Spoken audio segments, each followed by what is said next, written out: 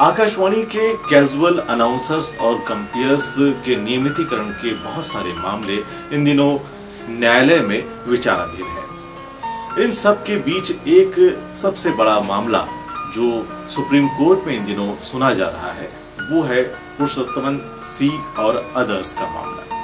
नियमितीकरण का ये दावा कितना मज़बूत है, ये हम जानेंगे आज इस वीडियो के माध्यम से। साथ ही इस वीडियो की कड़ी में आगे कुछ और भी वक्तव्य आप तक पहुंचाएँगे। पूर्व न्यायाधीश के वक्तव्य भी हम आप तक पहुंचाएँगे आपको इस वीडियो के माध्यम से, जिसमें हम जानेंगे कि ये दावा नियमितीकरण का कितना मज़बूत है। आइए जाने क्या है मामला पुरुषोत्तमन केस का। हुआ यूँ कि 2011 में आकाशवाणी कन्नूर केरल के कैजुअल अनाउंसर पुरुषोत्तमन और उनके कुछ साथियों ने अपने नियमितीकरण की मांग करने हेतु आकाशवाणी महानिदेशक सहित सूचना प्रसारण मंत्रालय और प्रसार भारती को पत्र लिखा कि हम 15 से 20 वर्षों से लगातार सेवा दे रहे हैं कृपया हमारी सेवाएँ नियमित की जाएँ। हालाँकि इसके पहले 29 जनवरी 2009 को आकाशवाणी महानिदेशालय ने सभी आकाशवाणी केंद्रों के लिए एक संदेश जारी किया था कि आकाशवाणी के आकस्मिक कर्मचारियों के नियमितीकरण के लिए एक योजना तैयार की जा रही है। सभी से अपेक्षा की जाती है कि इन सूचनाओं को प्रेषित करें। उद्घोषक न्यूज़ रीडर कम ट्रांसलेटर वाद्य यंत्र संगीतकार, ट्रांसमिशन एग्जीक्यूटिव, लाइब्रेरी और information assistant, production assistant, general assistant और अन्य कैजुअल पदों के कार्य हेतु स्वीकृत पैनल में शामिल आकस्मिक कर्मचारियों की संख्या। इन कार्यों के लिए बनाए गए पदों के नाम। इन पदों के लिए 16 मार्च 2001 और 17 मई से दिसंबर 2007 कुल रिक्तियों की संख्या। इन पदों के लिए 2003 से 2007 तक प्रतिवर्ष लगाए गए कैजुअल कर्मचारियों की वास्तविक संख्या। तथा सभी श्रेणियों में सभी पदों के विरुद्ध 1 जनवरी 2008 से अब तक की स्थिति का उल्लेख करें ये जानकारी कृपया 12 मई 2008 से पहले एसपी भट्टाचार्य के फैक्स क्रमांक पर पहुँच जानी चाहिए। संदेश का मूल था कि आकाशवाणी के आकस्मिक कर्मचारियों के नियमितीकरण के लिए एक योजना तैयार की जानी है। लिहाजा उसके लिए आवश्यक जानकारी, जैसे पैनल में शामिल आकस्मिक कर्मचारियों की संख्या आदि का विवरण सभी आकाशवाणी केंद्र प्रस्तुत करें। लेकिन अधिकांश आकाशवाणी केंद्रों ने मांगी गई जानकारी पूरी तरह नहीं भेजी।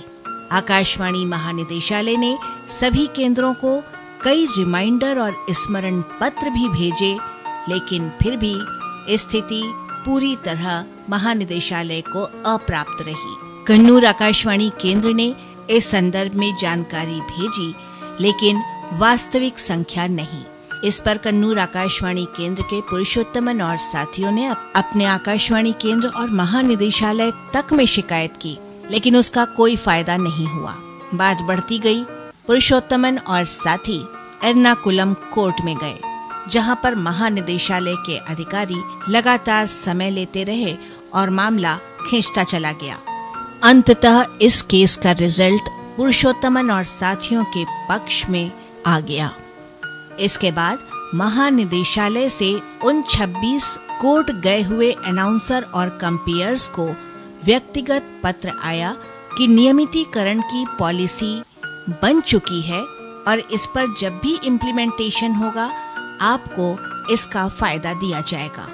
बावजूद इसके, महानिदेशालय की तरफ़ से हाई कोर्ट केरल के आदेश पर आपत्ति दर्ज करते हुए मामला सुप्रीम कोर्ट में लगा दिया गया।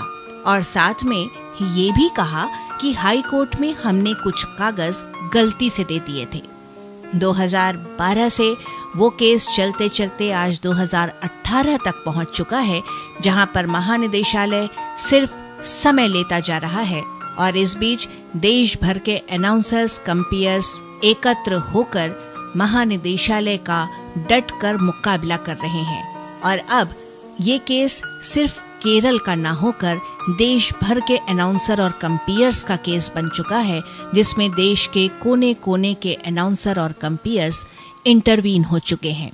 शोषण, अन्याय, दबाव की नीति लगातार हर केंद्र पर बढ़ती चली जा रही है।